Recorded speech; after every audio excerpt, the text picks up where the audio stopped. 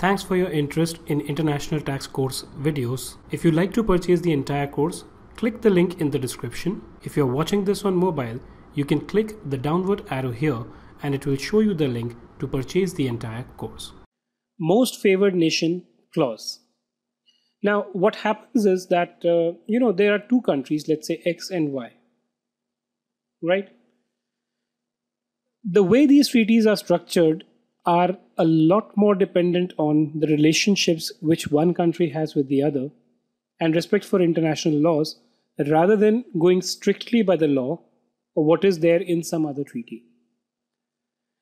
Most favored nation clause, the purpose of this clause is that when India is entering into a treaty with some other country, if they have good relationships, then India can agree that if today I enter into a treaty with you which contains some clauses, but tomorrow I enter into another treaty where I give some benefits to someone else, I'm going to extend those benefits to you effective from the date when I give those benefits to someone else.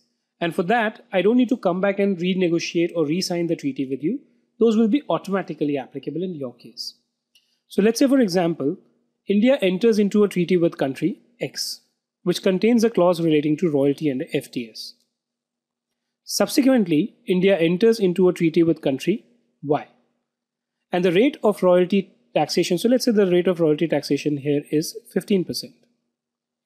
In this new treaty that India has entered into, it says the rate of taxation will be 10%.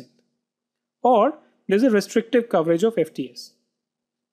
Right? So let's say, for example, it says that, you know, FTS will be taxable in India only when it is satisfying the make available condition, something which we discussed earlier.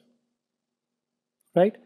In such a case, if the original treaty which India had with country X had a most favored nation clause, then the reduced rate, which is 10%, or the narrow scope, which is make available clause, shall also apply to treaty with country X. And it is going to be applicable from the date of new treaty, which is the date when this treaty comes into force, not from the date when original treaty was entered into. Normally, the MFN clause is found in the protocol to the treaty. Let's look at one of the MFN clauses. If after the signature of this convention, which is the treaty between India and Netherlands, under any convention, any treaty, or agreement between India and a third state which is a member of the OECD, which means that if India enters into a treaty with a non OECD country, okay, and that contains some better clauses, those will not automatically apply here.